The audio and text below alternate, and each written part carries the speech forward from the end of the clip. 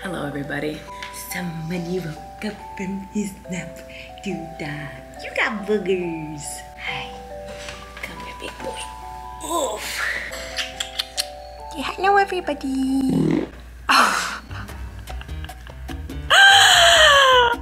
Wesley, what a way to start the vlog, buddy. All right. Oof. That stinks.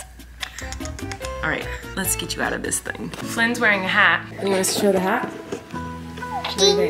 Ding, ding, ding. Looking good, dude. So we're going through all the hats I have in my house. Maisie's gonna show them all to you. This one, very nice. Look at that one. This one, a mm. classic.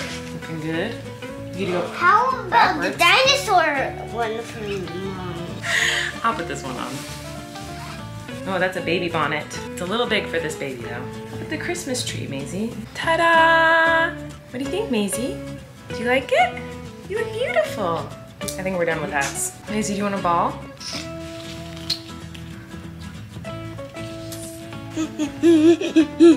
Cool hat. You look awesome, dude. Wesley is in Flynn's ball pit. Flynn, this is from when you were a baby. This was your ball pit from when you were Wesley's age. What do you think, Wesley? He's so confused by the hat. is that confusing, Wesley? He doesn't know how he feels about that. Maisie, oh. looking good, girl. Looking beautiful, pretty lady.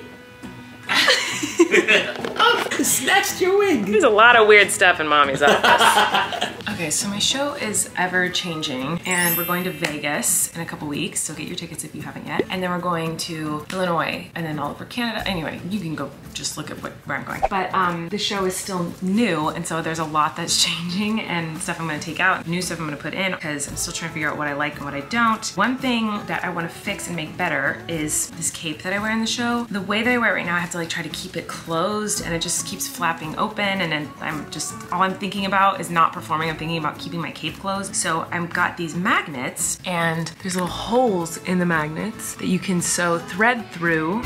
Whoop, and they're really strong. Sorry you can hear my kids screaming downstairs. They're having fun. Then I also have these, which I don't really know what these do. I think these are kind of the same vibe where it's like the plastic you can sew or something. So I have my little sewing kit. I'm gonna sew on some magnets. Okay, moment of truth here. So normally I tie this around my neck. Now the hope would be that it just magnets on. Now the question is will it stay on if I'm like dancing around and stuff? Mm, It's a little questionable. It feels pretty sturdy, but I don't know. I also like frantically cut a hole in this during one of the shows and it looks insane. So I need to fix that. There's a lot I need to do with this cape to fix it. I should get on that. But I think that works. I think I think I can cut these off because I think that will work. Guys, I'm so crafty. Look at all these kids. There's so many kids in here.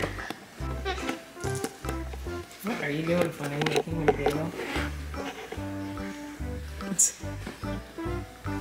Wesley likes that. Hi, Maisie. Hi, Maisie.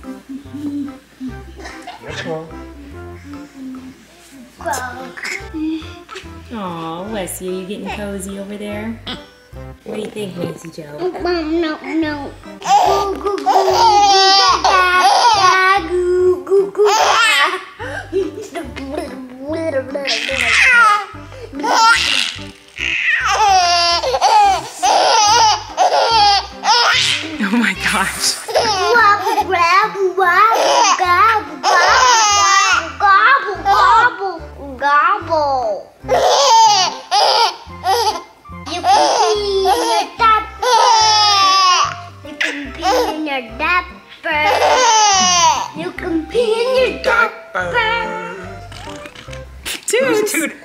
Wesley's ripping tooting them? all over the place. You're so cute, guy. Guy. He's about to roll over. Good job. Crazy babies. Grumpy baby Maisie today, because she's teething. She got one tooth, the other one's coming through. She got a grumpy little baby face today. Trying to eat a nude. I knew that. I knew. Eat a nude. Eat a nude. We're eating nudes for dinner. Oh, Flynn made noodles. How's your nude? Is it good? Good. A real dinosaur. Oh my gosh, there's a dinosaur in here! Oh, it's just Flynn. Thank goodness. Oh, it's a real dinosaur. Oh. no, this is just, it's just a hat. It's just a hat. You're not a real dinosaur. Are you sure? No. Are you nice? Yeah. Okay. Phew. So I'm fun. Oh, okay. Ah! Don't eat me, dinosaur. Don't eat me. Don't eat me. Oh, he's gonna. Oh, it's just Flynn. I thought. Whoa. no, Oh, no, I changed. Thank- Ah! Oh, he's gonna bite my hand. Oh, it's just you. Don't bite my hand. Ah! And Teeth are sharp. it's me, baby Flynn. I got a hat. Cool hat, dude. Mom's Happening.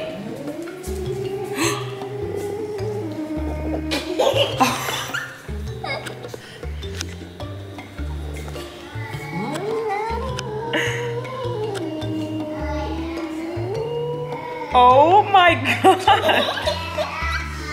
Guys, it's okay. It's just Flynn. It's just Flynn, guys. Oh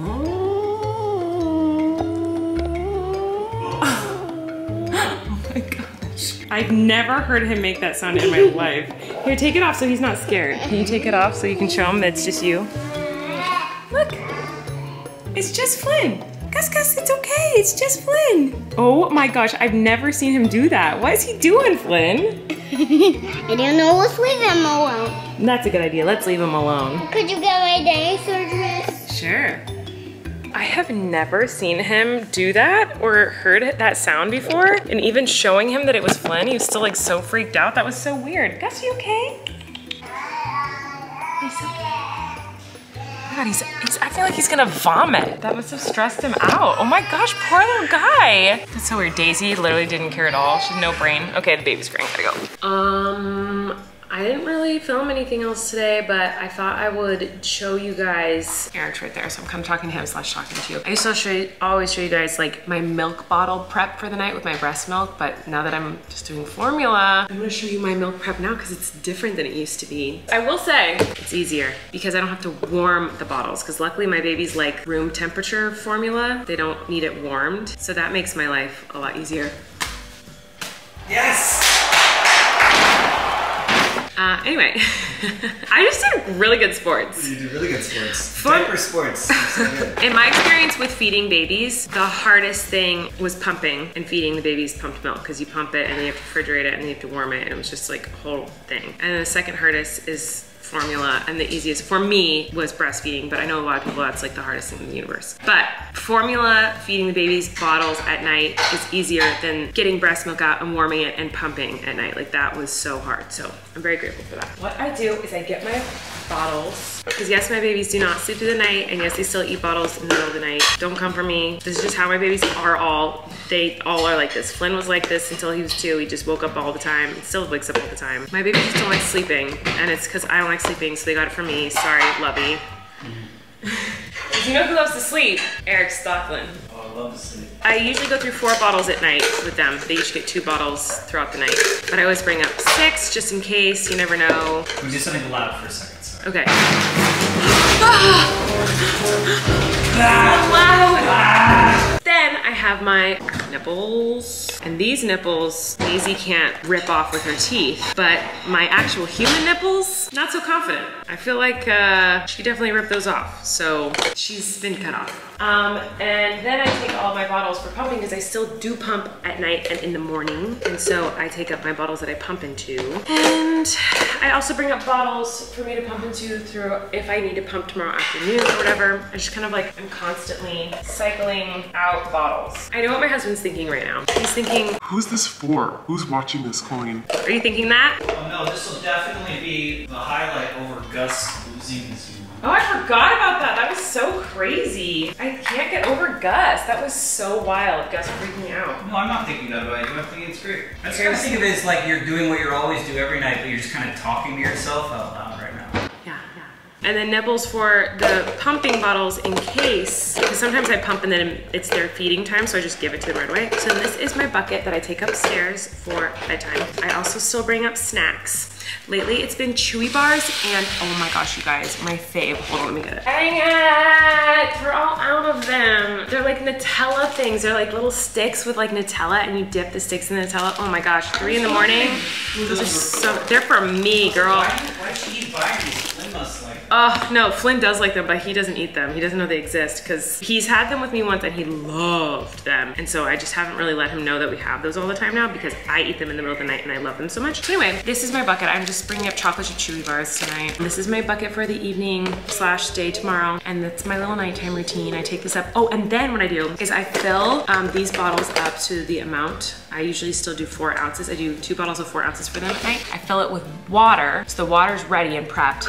I'm gonna put the lid on so that it's safe and ready and it's on my counter next to the formula. So in the middle of the night, if they want milk, I all I have to do is put the scoops in and shake it up and go. I don't have to like be measuring out the water. So I prep all the bottles with water inside of them too. So that's the last thing I do. Cheers. I think I'm gonna make cookies. Erik says I should make cookies. Right, love? You really want me to make cookies? Yeah, super bad. I haven't made cookies in a long time, so I thought it'd be fun to make them because they're delicious. And I'm gonna make cookies instead of uh, do work, which is what I should be doing right now. All right, I'm just gonna make a half a batch and I'll see you guys later. I can't make any cookies because we're out of eggs. so I'm very sad about that. No, no, don't leave to go get me eggs. Oh my gosh, please do not do that, darn. Okay, guys, who is starting rumors about me? I mean, a lot of people, but I have to address this rumor that is so nuts. My sister-in-law texted me yesterday or something and was like, are you gonna be on Grey's Anatomy? And I was like, what? And she was like, just tell me right now. And I was like, no, what are you talking about? And she sent me like a picture, like a screenshot of something where it was like a cast of people and there was my picture and it said like a random name of a character and it said I was playing some character on Grey's Anatomy. I don't know what this thing is and where it came from, but she said it was floating around on Twitter and she saw it and she was freaking out because she loves Grey's Anatomy. And I was like, that's definitely not true. I don't know where that came from, but that's not true. It's a lie. So I didn't know that it like people were actually thinking that I was on Grey's Anatomy because I thought maybe like she just misunderstood, but she's like, no, people really think you're gonna be on it. And I was like, what? No, whatever. So I didn't think much of it, but I was just now reading the comments on the vlog I posted today. And there's a comment that says, hi Colleen, you'll do awesome on the show Grey's Anatomy. Um, and then she said some other stuff. But like, I'm not gonna be on Grey's Anatomy, guys. That'd be awesome. I would love that, but I'm not gonna be on Grey's Anatomy. That is definitely not true. I don't know who started that as like, they must have started as a joke or something, but like people are believing it, I guess. Um, but yeah, definitely not gonna be on Grey's Anatomy. Sorry to burst your bubble there, kids. Okay, guys, so I've debated talking about this or not, and I'm not really gonna talk about it. I'm just gonna bring it up quickly. I would sit here and chat with you about, you know, who knows what, random stuff about the kids or toilet talk questions or whatever I'm stressed about in the day or whatever. But honestly, the only thing on my mind right now is the awful thing that happened today. My heart is so, so broken and so shattered for the parents and the families of the kids who were victims of the mass shooting today. There's just been so many mass shootings already this year. I mean, there was one in Buffalo that was horrible while I was on tour. That was terrifying and awful and devastating. And then to find out today that a bunch of children, I can't even say it. It's really upsetting. It's it's really heartbreaking. It's really devastating. I just feel like I it's hard for me to even think about anything else or talk about anything else. I don't have the right words to say. I don't even know what to say. I don't know how to I just feel really sad and my heart is so broken for those parents. I was cuddling Flynn to sleep tonight and just holding him and just, I cannot imagine, I cannot imagine. And I'm so confused and angry. There's not words to explain or describe how devastating it is. And I know everyone who knows about what happened feels the same way, I'm sure, because it's devastating, it's evil, it's awful, it's unimaginable, it's unimaginable. And I hate that there are people out there that it's not unimaginable because it actually happened to them. My heart is so broken for those people. I feel like I'm just blabbering and I don't have the right things to say. I could talk about something else right now, but it just feels weird and wrong to talk about anything other than this because in my vlogs I always just talk about what I'm going through and what's happened to me that day or how what my feelings are and I feel very devastated. It's very consu- all consuming, you know, thinking about it tonight, you know, as a mom, it's awful. So, yeah, my heart goes out to all those people and who've been affected personally by the shooting today and all the shootings that have happened this year and every year. It's just really sad. So anyway, um, I love you guys so much, and I will see you tomorrow. Okay. You can relax. Colleen and Erik have a podcast. The world is scary and we're locked in our home, but now we have big microphones. So you can relax. That's the name of our podcast.